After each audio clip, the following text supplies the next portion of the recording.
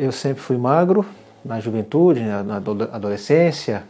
Eu me casei no ano 2000 pesando 62 quilos. Meu estilo de vida era bastante desequilibrado. Eu não tinha horário para me alimentar, comia em grande quantidade, comia à noite bastante. De 2000 para 2010, quase dupliquei o peso, né? de 62 para 120 quilos.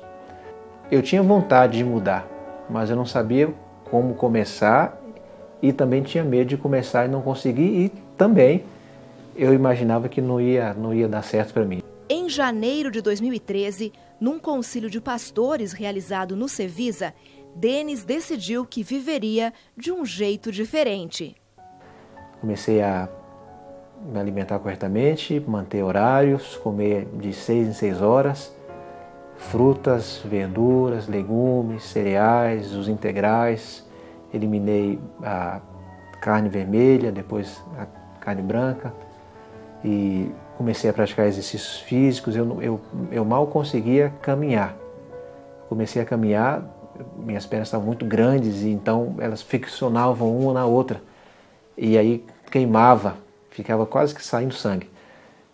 Insisti, comprei uma bermuda daquelas que colam no corpo, comecei a caminhar, experimentei correr Aí 500 metros, 1 quilômetro, 2 quilômetros, 3 quilômetros, 4 quilômetros, 5 quilômetros, 10, 15, 18, 21, meia maratona, aí não parei mais. Agora a minha vida é me alimentar corretamente, fazer meu devocional de manhã, fazer minha, uma hora de atividade física, entre 45 minutos, uma hora de atividade física.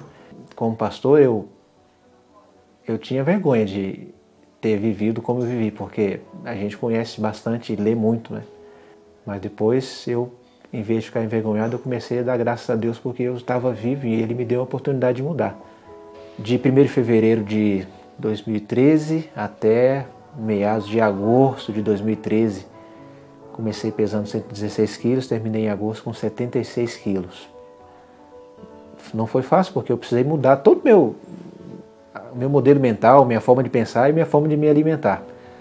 Chegava na cozinha, tinha noites que eu falava assim, eu não vou aguentar mais, eu não, vou conseguir levar isso avante. Eu precisava vencer, eu, eu orava a Deus, clamava a Deus na cozinha para Ele me, me fazer gostar de coisas que eu não estava acostumado.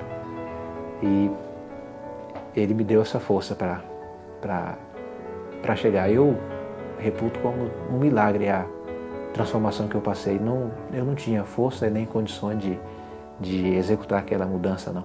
Foi Deus quem fez na minha vida tudo isso aí. Eu ganho hoje uma autoridade diferente. A autoridade da prática, a autoridade também de alguém que não vivia e que recebeu a graça de Deus, a oportunidade de, de, de mudar. É, a minha pregação hoje é outra. E a aceitação da, da pregação é outra com relação aos irmãos, porque não é um discurso vazio, né? é um discurso de alguém que, que está vivendo, que está pedindo força a Deus para viver. De mim mesmo, eu repito, eu não tinha condições, porque eu gostava demais de hambúrguer, de, enfim, é, pizza várias vezes na semana. E eu posso afirmar para você que eu não deixei de gostar de nenhuma dessas coisas. Eu continuo gostando, só fiz a escolha de não fazer mais uso. Eu quero também manter esse estilo até o final, porque tem feito bem para mim, para minha família, e eu quero viver não não para para aparência, não para mostrar, mas eu quero viver para pregar o evangelho. E quanto mais você tem saúde você pode viver um pouco mais, você vai pregar mais, mais tempo. É isso que eu quero.